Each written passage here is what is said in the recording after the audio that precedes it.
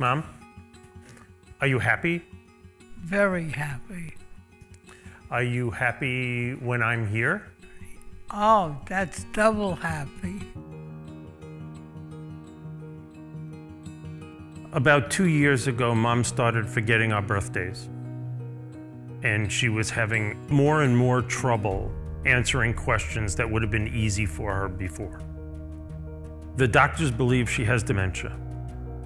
Mom now remembers faces, but less likely will remember names. What I miss most is the conversation. What I miss most is my mother's outgoing personality.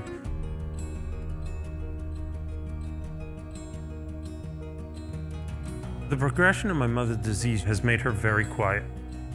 Mom is what some people have called an active observer. If I don't speak to her, she won't talk. Do you remember some of the friends' names? Who's your good friend who's still there?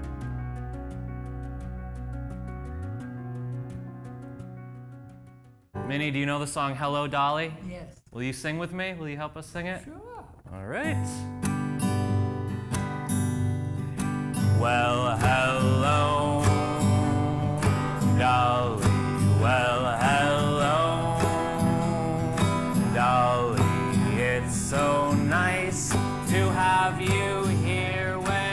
I first learned about music therapy when I saw it on the schedule and decided I'm going to take her. And why? Because I know she loves music.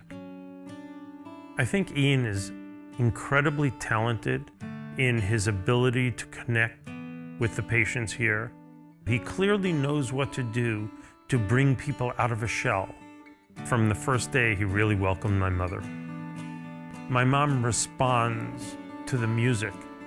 I see her pay attention. I see her sing along. I see her answer questions.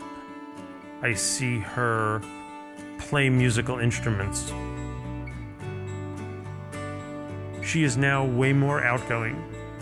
Now, I know that dementia is not getting any better, but how she's reacting to it is definitely better since she started music therapy. What about music therapy? When you go there, does it make you feel good? Yes, Do you like it? I love it.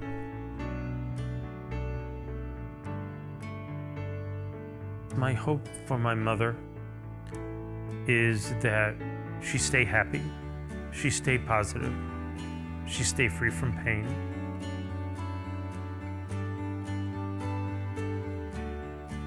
The hope for myself is that I could be there for her and I could remain strong for her. I just want to tell you that for my whole life, how much you've meant to me, and that I love you so much. The feeling is mutual.